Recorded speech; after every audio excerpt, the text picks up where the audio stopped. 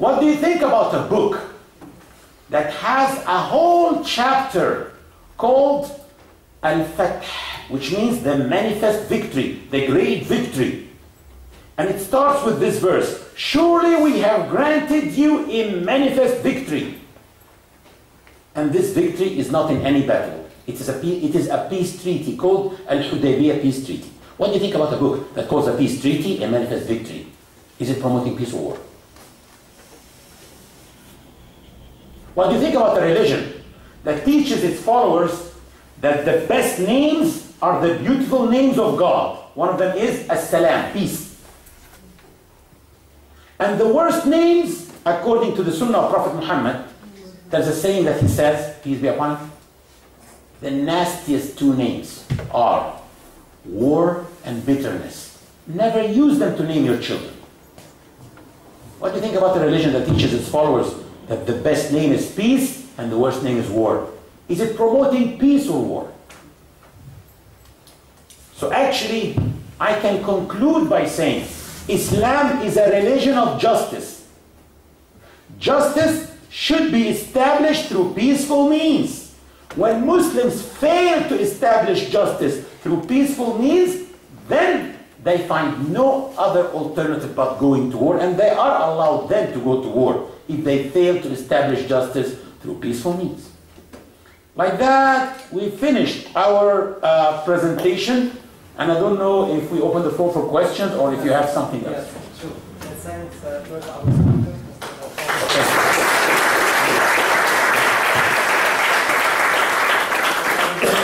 And we have room for some questions. Please, if you have any kind of questions, don't feel ashamed to ask it. It's a good chance that we have uh, Mr. Fadel Sulaiman here today. Let me warn them Oh, oh, before they ask. no, that we should not do. Now there's a warning actually. Muslims believe that in Islam there are no weaknesses whatsoever. No weak points. That's not because Muslims are arrogant, but it's because Muslims believe that every ideology takes the characteristics of the founder of the ideology. So whatever is human is imperfect, because the human is imperfect. It can be beautiful, but imperfect. Whatever is divine is perfect. Because the divine is perfect. God is perfect. And we believe that Islam is the religion of God. So we believe that Islam is perfect. And I'm saying this because I want you to open your heart and throw on us any question that you have. No question is impolite to say. No question is inappropriate. So please open your hearts and throw on us anything that you may have heard or read. Actually, we appreciate so much the non-Muslim brothers and sisters who came today and allowed us to talk to them about ourselves.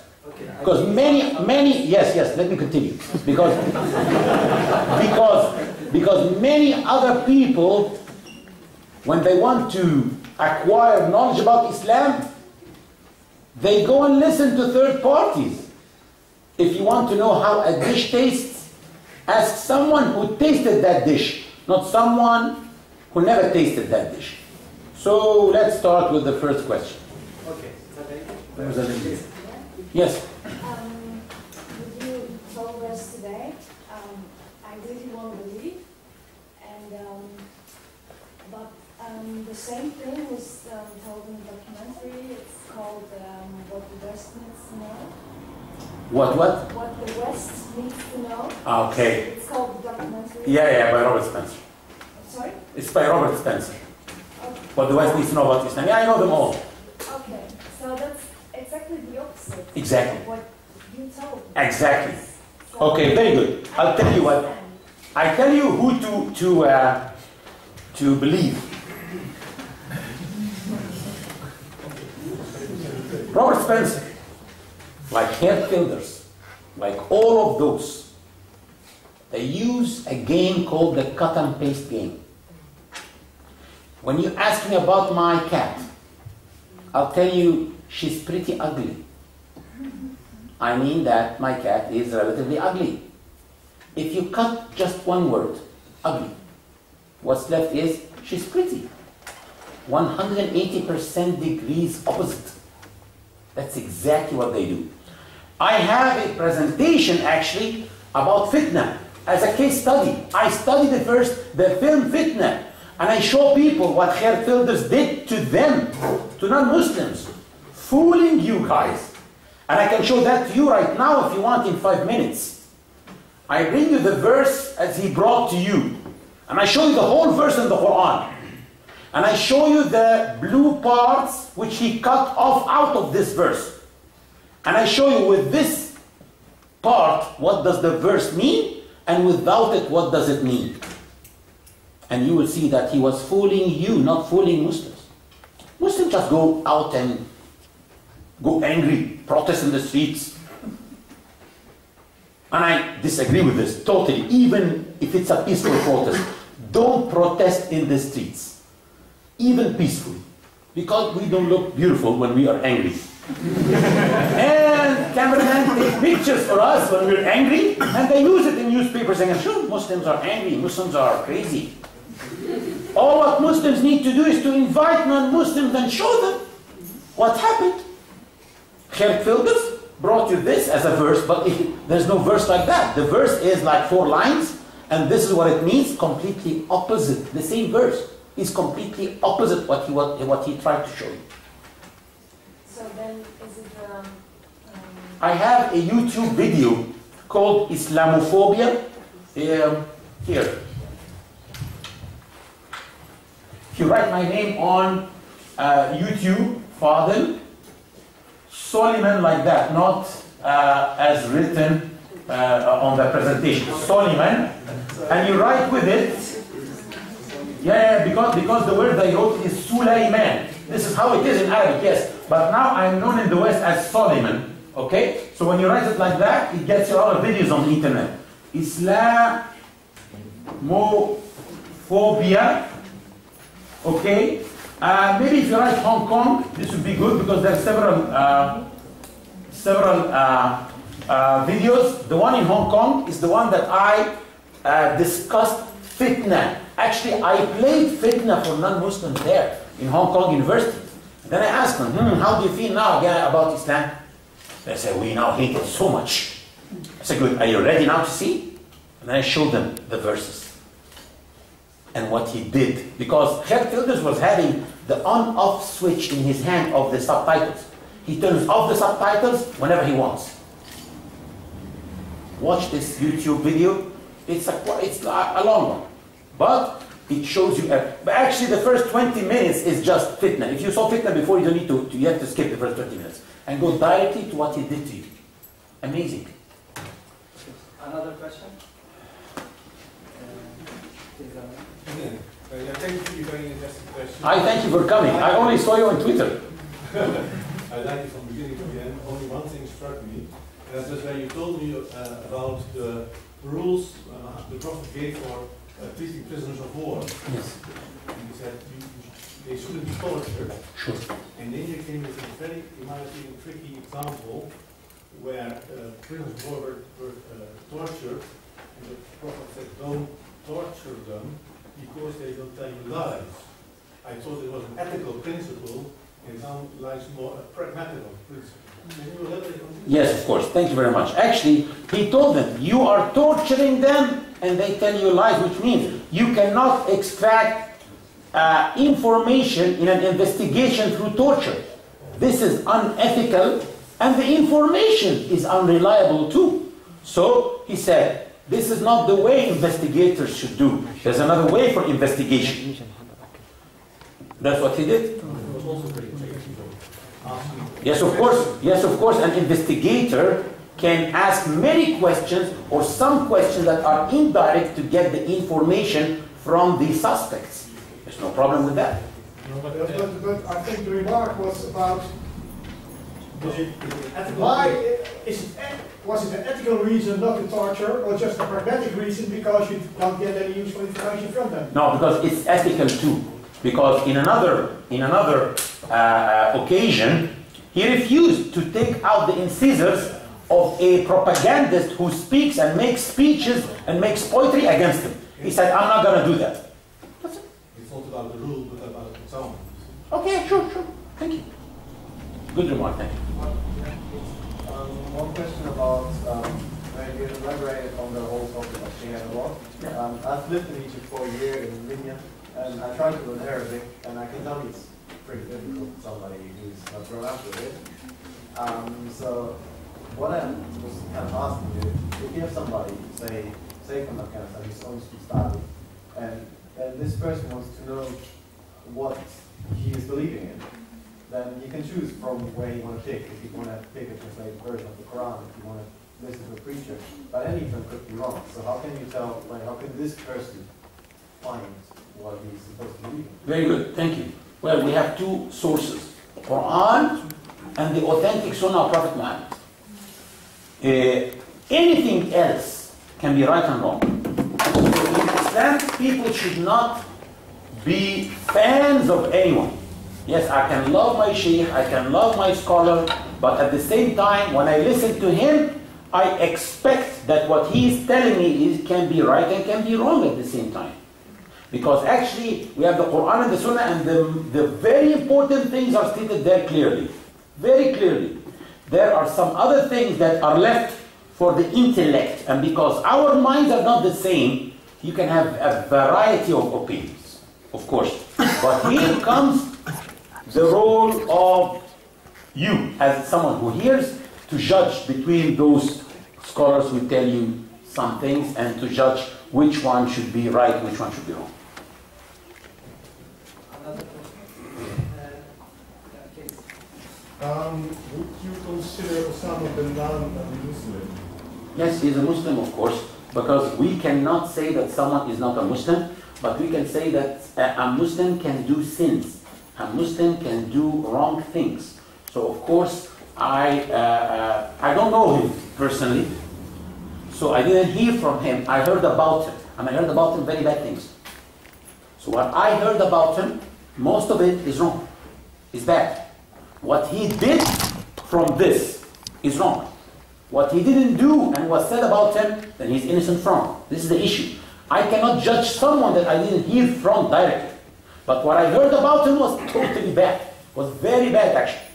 So I can say that as a Muslim speaker or a scholar, if I can call myself, well, I'm not a scholar, but the issue is, a Muslim scholar should not judge and should not talk about names, should talk about uh, issues, should talk about concepts.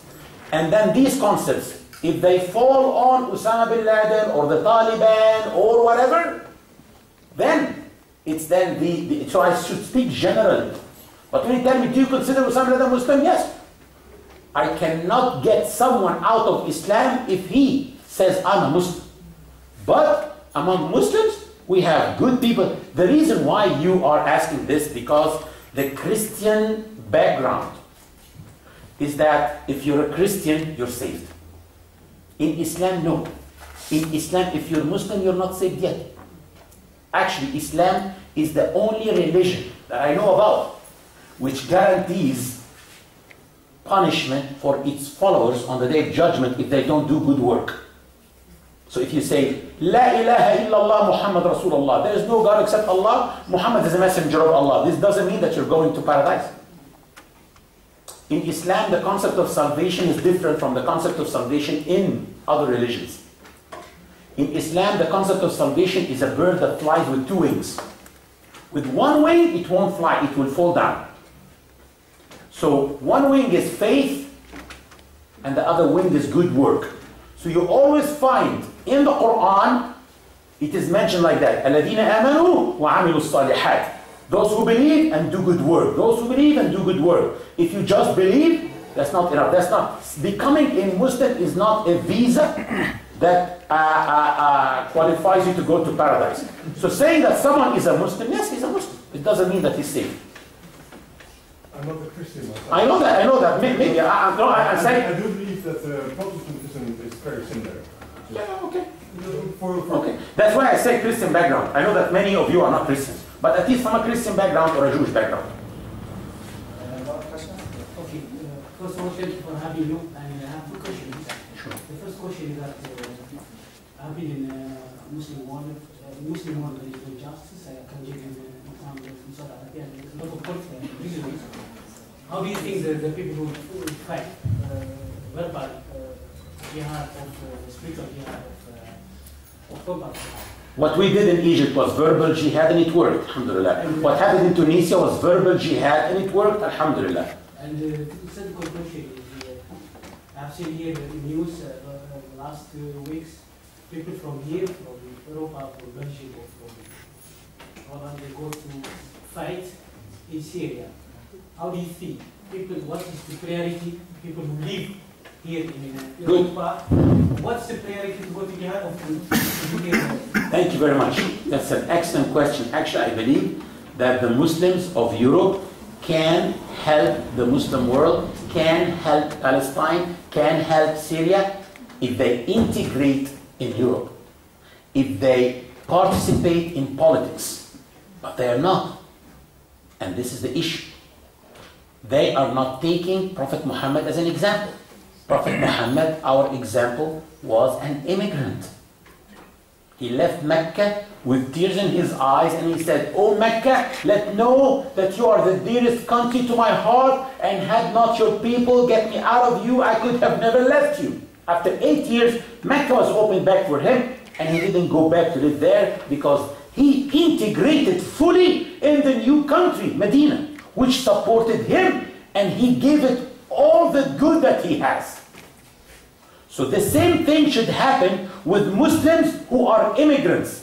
Your example is Prophet Muhammad. He integrated fully. After eight years, he said, Oh Allah, let know that I love Medina and the people of Medina, and if the people of Medina go anywhere, I'll be going with them. To the extent that he changed some aspects of his culture, as long as it does not contradict with his religion.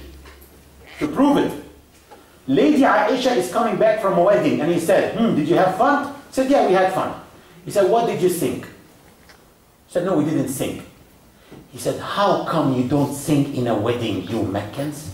You Meccans are not in Mecca anymore. You are here in Medina. And the people of Medina love singing. Why didn't you sing? Ataynakum, Ataynakum. And he even suggested a song that could have been suitable to be sang in a wedding. Yes, he did not compromise his religion. Whatever from his culture that he can adapt to uh, integrate, he did and he integrated and he was influential. The issue is how can Muslims in Europe be influential and look at themselves as European Muslims who can help their brothers in the Muslim world?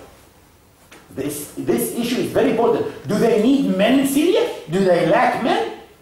If they lack men, go. But they don't lack men. They lack political support from Europe. Because Muslims in Europe are not doing their role. This is what I think. You had a second question, right? You said two questions. The second question was, how do you think uh, in South Africa and countries? Anywhere, How do you we, what we did in the, in the revolution was verbal jihad. And the one who actually killed us and, and shot at us was him. We did not do any violence to him. So actually, yes, I believe anywhere when there is injustice, people should go out and speak the truth and tell time that they are? Please. Yes. Yeah, I would like to ask you, um, you as uh, someone who is communicating between uh, religions and uh, explaining the Islam, Yes. um, what do you think about the way how the Western media is using the term jihad? Do you think it's a lack of knowledge or do you think it's on purpose to generate tensions? Uh, you will have one of my DVDs, which is Jihad on Terrorism. And I think in the first 10 minutes, uh, you will find uh, that we are bringing you samples from the Western media when jihad was against the Soviets. You will see how they were using the term jihad, saying, 4,000 mujahideen in Kandahar are now fighting the Soviets. Jihad is now launched against the Soviets. Highly about jihad. And then jihad became a term that means terrorism. Some people are caught and they are tried in some countries with the charge of planning for jihad. Jihad means establishing justice. Jihad means war against terrorism. This is the issue. So I think, yes, of course, the media is playing a, a, an unclean game when it comes to the term jihad, of course. And it is the role of Muslims to go out and explain. Listen, the media was playing also against Prophet Muhammad. And there's a chapter called the journalists in the Quran. It's not called journalists, it's called the poets. The poets of that time were the journalists of today. It speaks about journalists, about media people, and what they do. And how did the Prophet uh, went combating this bad journalism that manipulates the truth is by encouraging good Muslim journalists, professional journalists. So he had his own Muslim poets like Hassan ibn Thabit, Ka'b ibn Malik, Abdullah ibn Rawaha, whom their poetry was not technically less than any other poetry.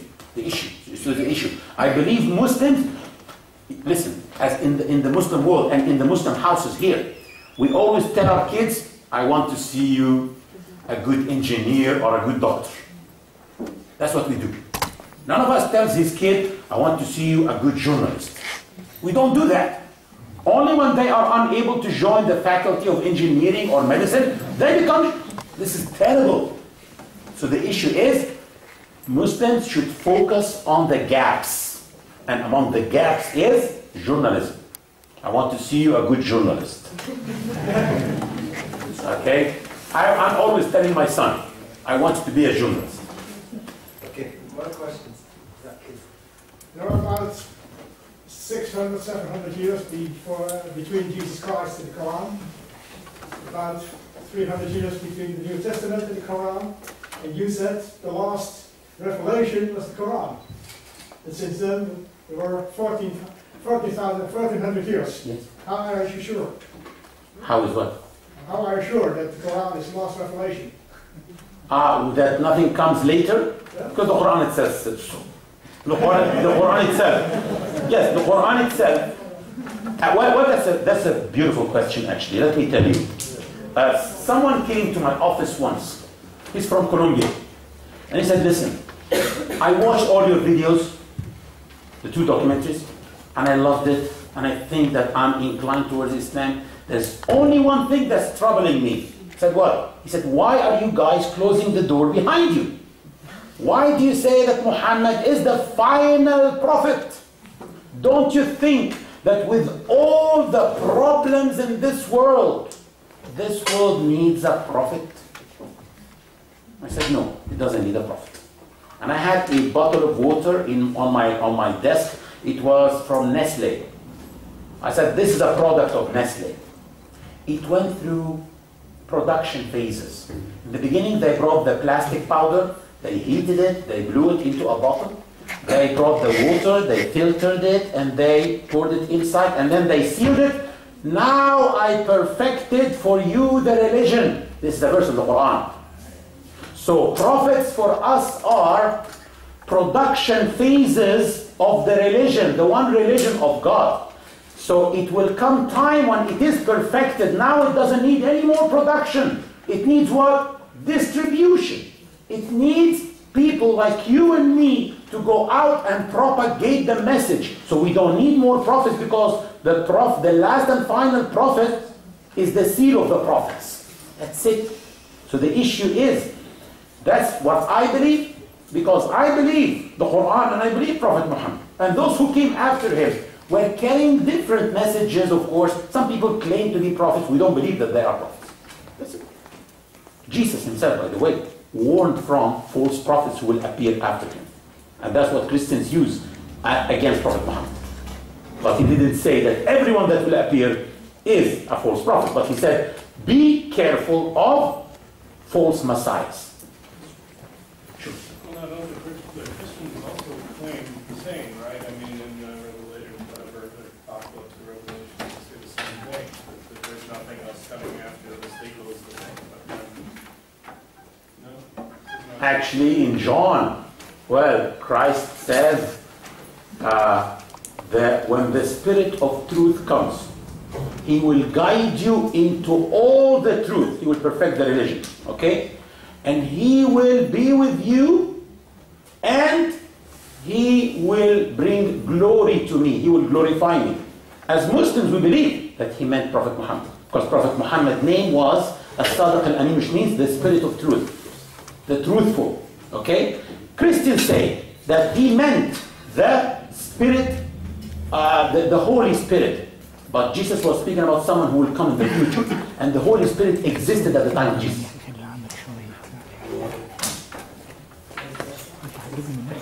There are two things about Islam that uh, are shocking uh, for the Western world. Sure.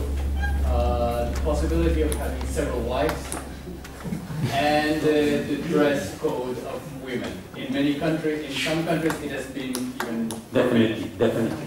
What do you have to say about Uh, thank you so much for this question. Uh, uh, let's talk first about the first one until I bring you something good to, to see actually about the dress code. But talking about what are you reading? That's my email inbox, huh? no, that's not. Ah, yeah. Uh, the first one was what? I'm sorry. I'm, I have a mem- volatile volatile memory. Having more than one wife. Yeah, yeah, yeah. Okay, excellent. I said that Islam is a religion for all people. And, okay, I'll, I'll read this now. Islam is a religion, as I said, for all people, from the Eskimo to the Amazons. And people have different cultures. There are cultures who accept this issue as a solution for their problems. I have a personal experience. I have an aunt who lived a 39 years love story with her husband. And she was never able to have children. Eight years ago, she said to her husband, I want to see the dream coming true in my house. She took him and she married him to another wife. And she took for them an apartment in the same building. The new wife became pregnant. The first baby was a girl. She named her Hanan after my aunt's name. The man goes to work, and the two women today take breakfast every day together, and three children are playing around them. If there are people who accept this solution for their problems, who are we to prevent it? But Islam doesn't make it an obligation on people. I'm married to one woman. Nearly everyone I know is married to only one woman. In Egypt, the last census says that 97 point something are only single marriages in Egypt. I think 1.8% are double marriages. They found 0.000 something, someone married to three women. They didn't find anyone crazy enough to marry four women, actually. so the issue is, the issue is, Islam allows it, doesn't obligate it. And Islam restricted it because it existed before Islam. Islam restricted it to the number four maximum. Don't go and exaggerate. Exactly. Maximum four under conditions of being extremely just, which means you spend here one dollar, you spend here one dollar. You, this one, this one lives would live in a in a four uh, uh, bedroom apartment, then this one will live in a four bedroom apartment, not something less. This is the issue. So Islam allowed it because people come from different cultures, but cultures that don't accept it, they don't have to practice. it. Okay, this is one. Second, okay. There's also, uh, in Holland, they also talk about, uh, that there was stories about Mohammed's life, that he married with a kid. That he Married with a kid, married kids. and that's also something people don't understand. That what? That's, that's something people don't understand. Yes, of course. So, um, where is it written exactly? Okay, good. Uh, no, it's not written. Actually, we, we, it is in the biography of Prophet Muhammad that uh, he married several wives, and one of them was Lady Aisha, who said he uh, married me. The contract was when I was seven, and the marriage was consummated when I was nine, and he died when I was 18. So here people say, well, then he was a pedophile. Well, a pedophile won't marry only one in the age of nine. He will marry all the rest in the age of the same age. But that's not true. That's not what happened. Many of his wives were actually old women, older than him, much older than him. So if we talk about Prophet Muhammad's marriages, now five minutes is good. Just allow me for five minutes to talk about this. Okay, good. Khalas, this is the last question before we go. Khalas, If allow me. have more questions, we have. Yeah, because this, this question is extremely important. Extremely important. It's extremely important. Because Prophet Muhammad is someone important for us. And we want people to understand. Prophet Muhammad, his enemies said everything about him. They said he's a liar, he's a sorcerer, he's a magician, his, his soul is a crazy. But none of them said he's a pedophile or a child molester. Number one, why? Did they forget to use it against him? It could have been an excellent chance to destroy this man and destroy this new religion. But they didn't use it. This issue, we only hear it recently in the, in the past 20, 30 years. Even though it is known that he married one of his wives in that young age. Prophet Muhammad did not marry until he became 25. And he was known for being a very chaste person. He never, he was never a womanizer or never chasing women, ever. So even his enemy did not use this against him. And when he got married, he got married to Lady Khadija, who was 15 years older than him. She was 40 and he was 25. And they, they were married for 25 years, which means she became 65 and he became 50. And then she died, and he stayed unmarried for three years. So, where is the lust here? And then the first one that he married was Lady Sauda bint Zam'a, who was in the same age of Lady Khadija, around 70 years old. And then Lady Aisha, in the age of nine. And then, and then, and then others. Some of them died in his life, by the way, and they were old. And some were not, normal, in the 20s and the 30s. And Lady Aisha, she was the only one who was at that age. The issue is, why did Prophet Muhammad wait from the age 7 when he signed the contract, or when they made the contract, until the age of 9? What was he waiting for? Puberty. Who said that when a girl reaches puberty, then she's ready for marriage? The Encyclopedia Britannica. Go to the Encyclopedia Britannica and type puberty. It will tell you puberty is the phase at which an adult becomes uh, ready for procreation physically. So she was ready physically, but who said that she was mature enough? Maybe girls, when they reach puberty, are not mature enough. Let's see if Lady Aisha was mature enough or not. Two years after marriage, which means she was 11 when this incident happened, the hypocrites accused her of committing adultery with someone. And when she heard about the rumors and what's happening, she felt ill and she told the Prophet, I want to go and stay in my uh, parents' house. He said, Go. And then he went to visit her. She is narrating. She said, He sat on my bed and he said, How are you, Aisha? She was ill. He said, I'm okay. He said, Listen, Aisha, if you committed a sin, ask forgiveness from Allah. But if you are innocent, let know that Allah will prove your innocence. Any man who is put in this situation, God forbid, he will at least shake his wife and tell her, I want to know the truth. He said, ask forgiveness between you and Allah. And then she looked at her mother and she said, Answer the Prophet of Allah. She's her mother, and she will be defending her.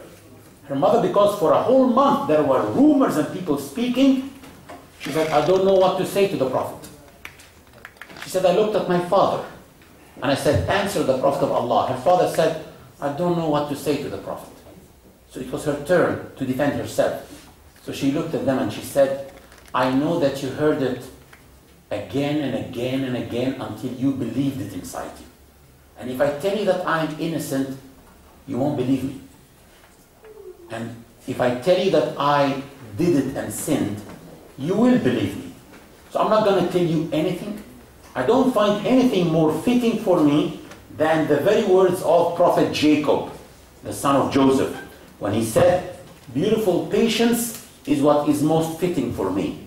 And she turned her back to them, she said, and she said, I was crying until I felt like my liver would be torn apart. But I was sure that Allah will prove my innocence. But I never expected that Allah will descend verses from above seven heavens to be recited in the Quran until the end of time, proving my innocence. I only wished that Prophet Muhammad would see a vision in his sleep, proving my innocence. So she was mature and she reached puberty. Plus, a child molester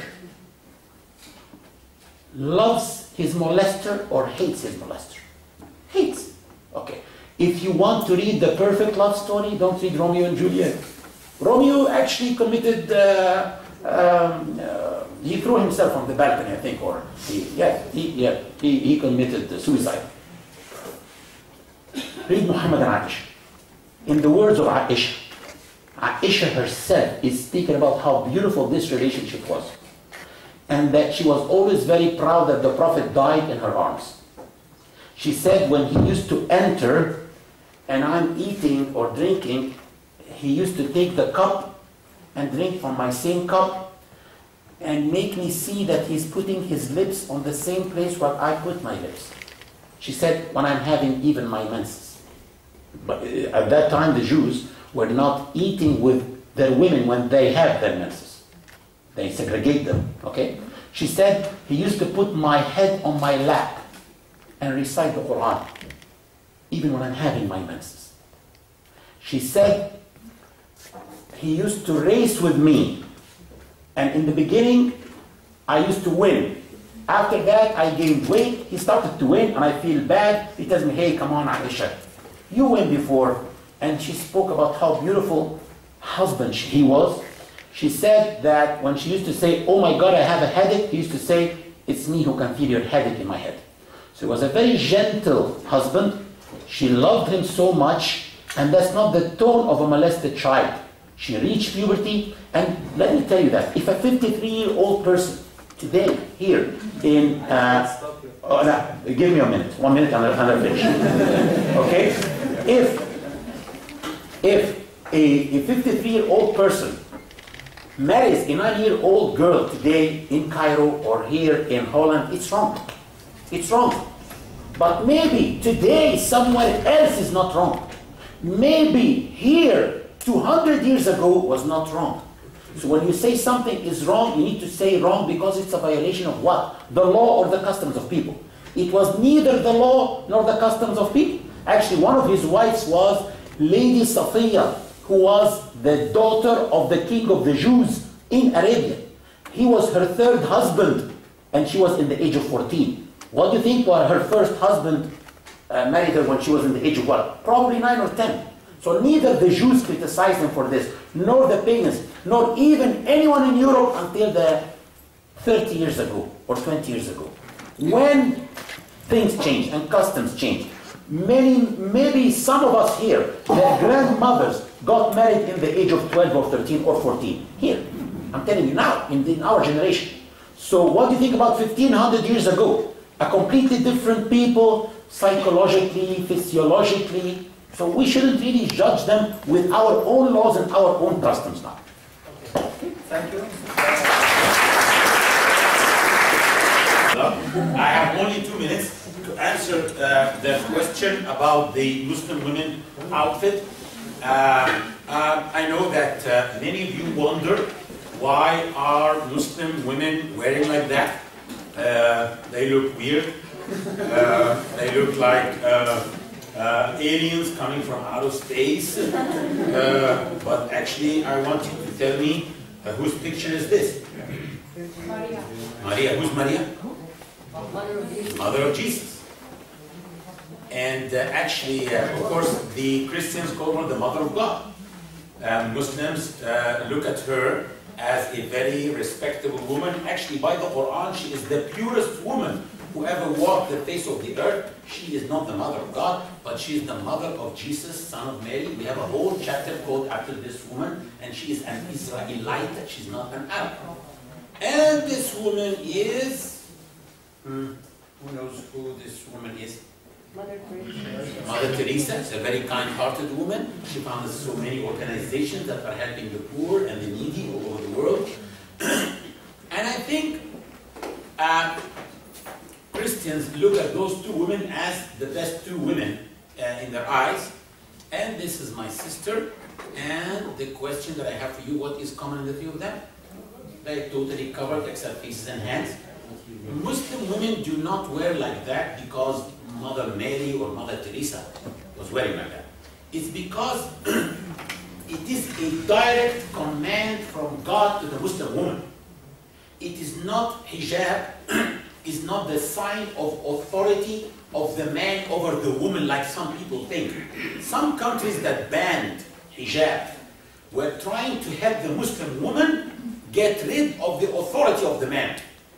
But that's not the case at all. It's a direct command from God to the Muslim woman in the Quran. God Almighty said in a chapter called The Light, it says, and say to the believing men, it doesn't say women here, that they should lower their gaze and cover their private parts. That is purer for them, and Allah is aware of all that they do. The next verse says, and say to the believing women that they should lower their gaze and cover their private parts, that they should not display their beauty except that which is apparent, and to draw their veils over their bosoms, and not to reveal their beauty except to their husbands, their fathers, their husbands' fathers, their sons, their husbands' sons, their uh, brothers, and their brothers' sons, and their sisters' sons, which means that Muslim women are not all the time wearing like that. In front of close relatives, they are wearing normally, showing their hair and their arms, but give me one more minute. But why do Muslim women wear like that? It's because men have been using women as tools of enjoyment.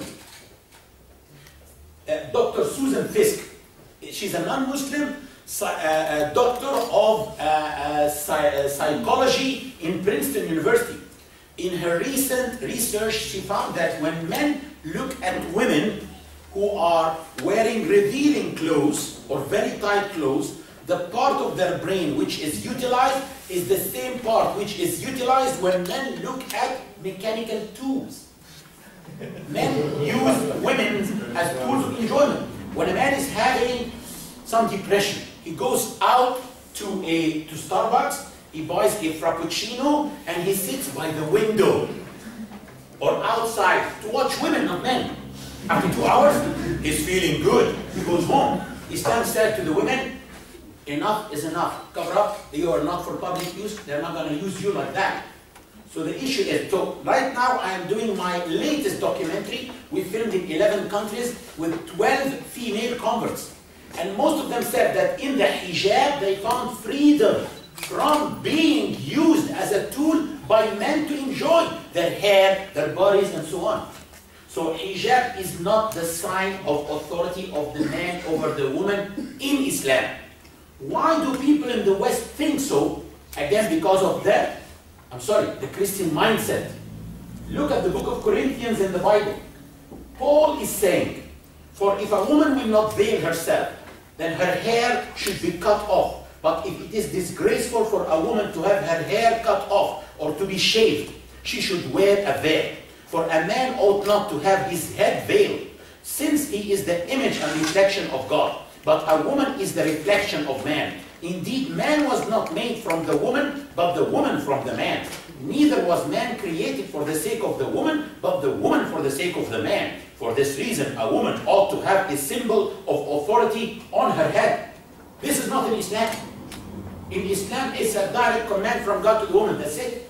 So the problem is, in communities that are either Christian or have a Christian background, they think that Islam is like that. Islam is totally against any authority of the man over the woman. Both men and women are equal before God. equal before the law. Both of them are subject to be equally rewarded or equally punished by God and by the law. But the issue is, what we see is different. That's true. In some societies, Muslim societies and non-Muslim societies, Muslim women are discriminated against. Let me conclude this by saying, if any society or individual oppresses women or discriminates against them, it is against Islam, not because of it. But some people apply their old cultures and old traditions and flavor them with the flavor of Islam, which is not doing justice to Islam. Thank you very much. I will leave the floor to my brother